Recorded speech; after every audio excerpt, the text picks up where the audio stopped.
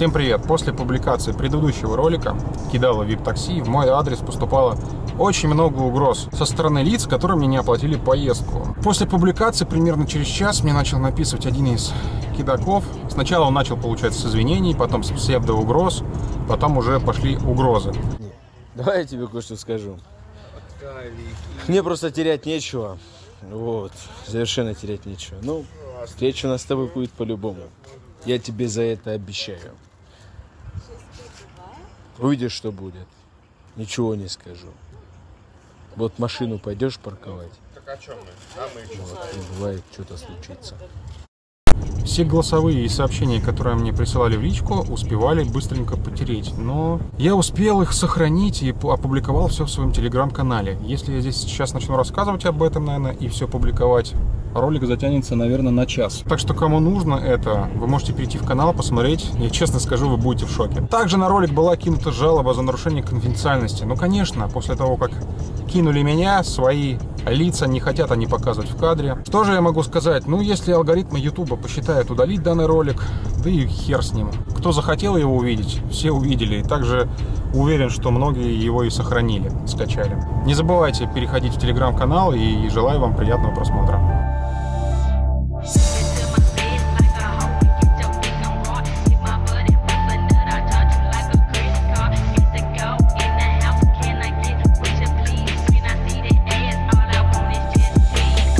Ребятушки, кто смотрел последний ролик, помнит э, мадемуазель Валентину, которая морозилась с запчастями, и я про нее рассказывал. Кто не помнит, я оставлю ссылку здесь сверху. Так вот, после ролика, э, естественно, ее осадили все люди, начали писать, звонить. Одному водителю она должна была прокладки на автомобиле, он ей написал, и в ответ получила вот такое вот сообщение. Я еще раз повторяю, я еду с Калуги. Часа через два я оставлю твои прокладки. Блядь, не трогайте меня, не трогайте блядь. Речь идет о том, что этому пидору я ничего не должна. Он снял ролик и выложил на YouTube. Мне рвут телефон, мне пишут в WhatsApp, мне звонят, блядь. Если у меня сейчас, сука, доведет до больницы, я его собственными руками, тварь, придушу. Я тебе клянусь, блядь.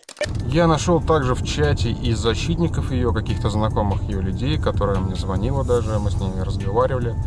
И вот она даже в чате написала о том, что муж у нее, проблемы в семье какие-то, но я считаю, что какие-то ее семейные проблемы она должна решать сама, да. И водитель тут при чем-то ее? Она им должна запчасти, так пусть она или делает возвраты, если не, не смогла осуществить доставку запчастей, или просто эти запчасти отдает. Но не знаю, прикрываться там, то, что у нее там муж плохой или детей много, это не совсем правильно. Что я могу сказать? Если вас, Валентина, не устраивает муж, то я вам могу найти альтернативу. Алло, приветствую, это Василий. Неплохой дуэт у вас получится. Якобы вы берете деньги за запчасти какое-то время, пользуетесь деньгами, потом вам звонит клиент, а трубку поднимает Василий и говорит клиенту. Поиски мужа похож на каких-то наебщиков, ну, Так что смотрите, если что, обращайтесь. Нового мужа вам тоже найдем. Еще забыл дополнить, что Валентина подала жалобу на мой ролик, и ее знакомая мне сказала, что Евгений, то, что вы показали лицо Валентины, это наказуемо. Но я могу в ответ лишь сказать другое, что если все вместе соберемся, водители, да, потому что, знаете, вот водителей собрать и пойти написать коллективную жалобу, это не так сложно. Но вот собраться всем почему-то всегда как-то сложно. Легче будет написать коллективную жалобу о мошенничестве, тогда это уже будет не наказуемо, а уголовно наказуемо. Так что все сами думайте. Давайте побегаем, наверное, по судам, если вы так хотите. Больше не хочу возвращаться к этой теме, просто ее много сильно обсуждали в Телеграме, да, и, ну, вот закрыть свои, из своих уст я как бы должен. Брат, не убивай, брат. Деньги возьми. Бежать.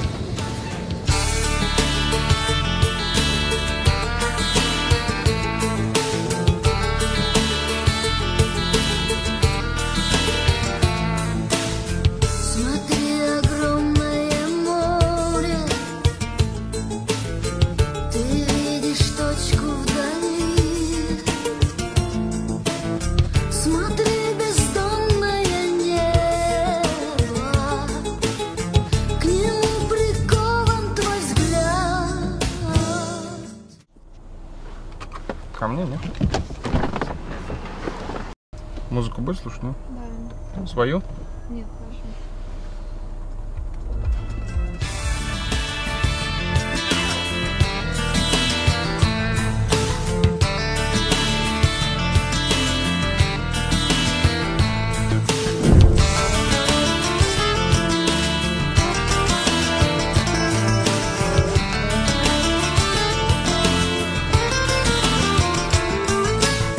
Так, ребятушки, ресторан Семифреда, платная парковка. У клиента наличка. Сказал, что оплатит. Здравствуйте.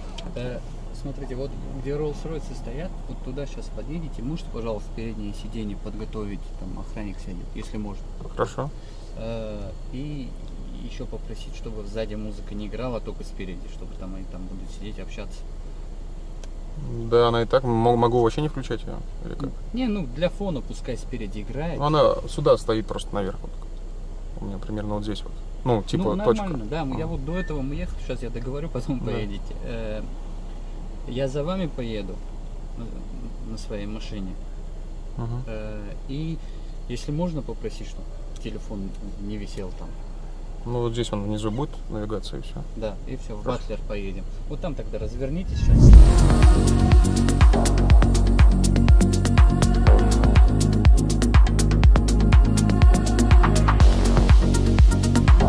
Заказ вышел на 2100 рублей, а дали мне 3000.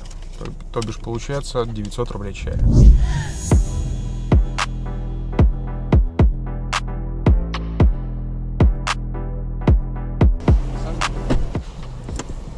Шестнадцать тонн у вас? Да. Музыка будет слушать? Музыкала. А, вы радио хотите? А если там сейчас концерт? Там. Блин, мы опять туда не попадем. Попадем.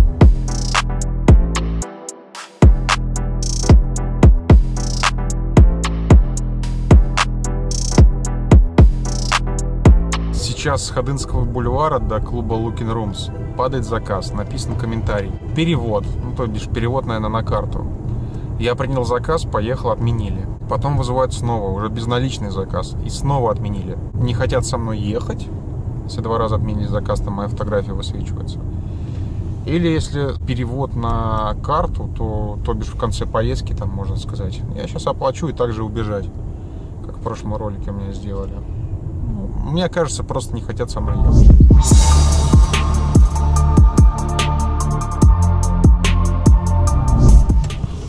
О. Мы с блогерами едем. Здрасте. Здравствуйте. О- о- о- Очень рад. Майбах такси. Нет, Блогер очень крутой. Да. Да, вот а прям- это та же машина, которую переклеивали, да? да.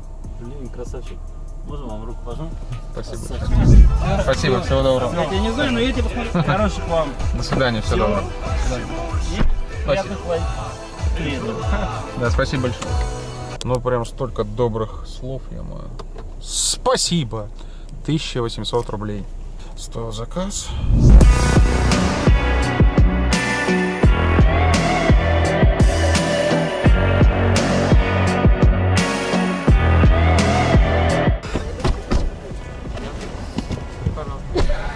Здравствуйте. Здравствуйте. О, нам покомфортнее сзади, конечно. Пристегнуться можете? Да.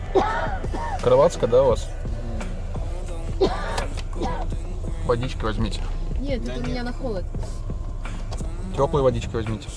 Ты там нормально ноги? Да, мне кажется, там мне тут плохо вообще. А, ну да, там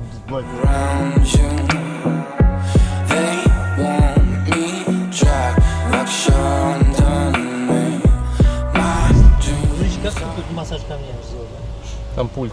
Где? Сейчас я найду его. Чем? Да он что ты, массаж что ли? Но я сам не смогу, это вам с пульта Я вообще тут какая-то поза сидел, я разложил диван. А есть что ли вискать? у тебя?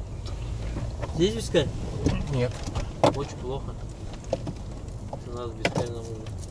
Я предлагаю, а я этот, в следующий раз не нажираться, как сегодня нажрать. Вот с помощью пульта включить.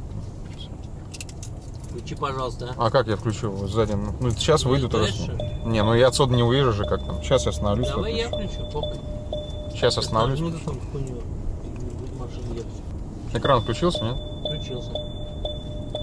Вот там вот так роликом щелкайте, доходите до сиденья, массаж, и включайте массаж, который нужен. Бок? Не, роликом крутите. Роликом, а где ролик? А, а, ролик, ролик. Ролика нет, братан. Ну, я же показал по центру там такой. Вот, что вы крутите. Он нужно. О, массаж. Да. Извините.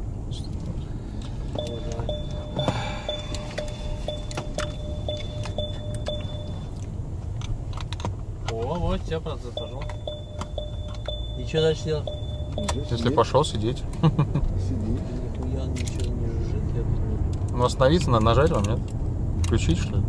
Ну что-то там, блядь, пытается. Но он там слабенький, он не такой, как это на массажном кресле. да? Ну. Новых, э, блядь, попище, да? Не, не. Одно и то же. Хуйня, да? Да. И мой предлагает, что за 4 миллиона рублей, блядь, Москву пригнать, да? Гонять, да,